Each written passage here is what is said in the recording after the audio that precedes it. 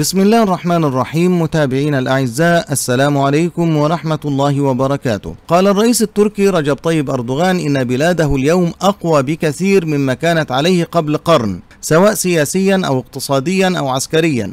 وذلك خلال الحفل الخاص الذي أقيم في المجمع الرئاسي بالعاصمة أنقرة بمناسبة عيد النصر الذي يوافق الثلاثين من أغسطس آب من كل عام. وتحيي تركيا الذكرى السنوية المئة واحد للانتصار على قوات الحلفاء والقوات اليونانية في الثلاثين من أغسطس آب 1922 الذي يعد عيدا وطنيا في البلاد وجمهورية قبرص التركية فيما قال أردوغان في تصريحاته الجمهورية التركية اليوم أقوى بكثير مما كانت عليه قبل ربع قرن ونصف قرن وقرن سواء سياسيا أو اقتصاديا أو عسكريا. كما أكد أن تركيا التي هي عنوان لحل الأزمات في منطقتها والتي قضت على التهديدات لأمنها ورفاهيتها وتقاسمت قوتها مع أصدقائها ستستمر في الصعود. وأضاف سنتقدم خطوة بخطوة نحو أهدافنا مع أمتنا التي تدرك ما يدور في العالم وتعرف الإمكانات الحقيقية لتركيا كما أردف الرئيس التركي لم ولن نسمح لأحد أن يمس بالإنجازات التي هي نتاج أحلام البلد والشعب